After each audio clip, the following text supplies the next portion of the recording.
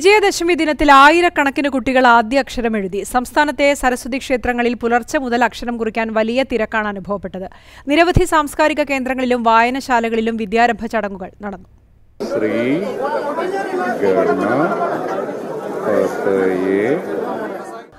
ഗുരുവിന്റെ മടിയിലിരുന്ന് തളികയിലെ അരിയിൽ ചൂണ്ടുവിരൽ കൊണ്ട് ആദ്യാക്ഷരം.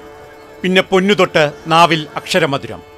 ക്ഷേത്രങ്ങളിലും വായനശാലകളിലും പ്രത്യേക വിദ്യാരംഭ പരിപാടികളിലുമായി ആയിരക്കണക്കിന് കുഞ്ഞുങ്ങൾ അറിവിന്റെ വെളിച്ചം തൊട്ടു.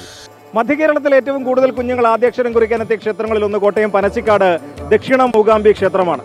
ഏതാണ്ട് ഇരുപതിനായിരത്തോളം കുഞ്ഞുങ്ങളാണ് ഇവിടെ സരസ്വതി മണ്ഡപത്തിൽ ഹരിശ്രീ കുറിച്ചത്.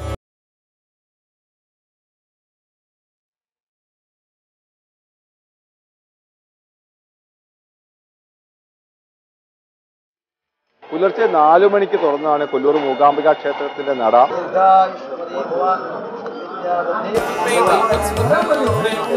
പൂജപ്പുര സരസ്വതി മണ്ഡപത്തിൽ ആയിരത്തിലധികം കുട്ടികൾ ആദ്യാക്ഷരം കുറിക്കാനെത്തി.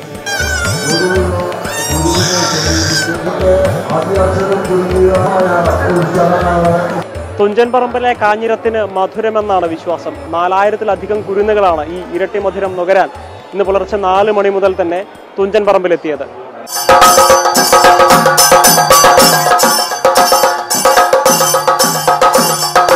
തുഞ്ചൻപറമ്പിൽ ആചാര്യൻ നൂറ്റാണ്ടുകൾക്ക് മുമ്പ് അക്ഷരത്തെ സ്വതന്ത്രമാക്കിയ മണ്ണിൽ കുട്ടികളെ എഴുതിക്കുന്നു. നമ്മുടെ പുതിയ തലമുറയ്ക്ക് അറിവിലേക്കും ഭാഷയിലേക്കുമുള്ള ഒരു വകി. Governor Arif Mohammad Khan speaker A N Shamseer പ്രതിപക്ഷ നേതാവ് വി ഡി സതീശൻ ശശി തരൂർ തുടങ്ങി ഒട്ടേറെ പ്രമുഖർ കുട്ടികളെ വിവിധ സ്ഥലങ്ങളിൽ എഴുത്തിനിരുത്തി. ശ്രീ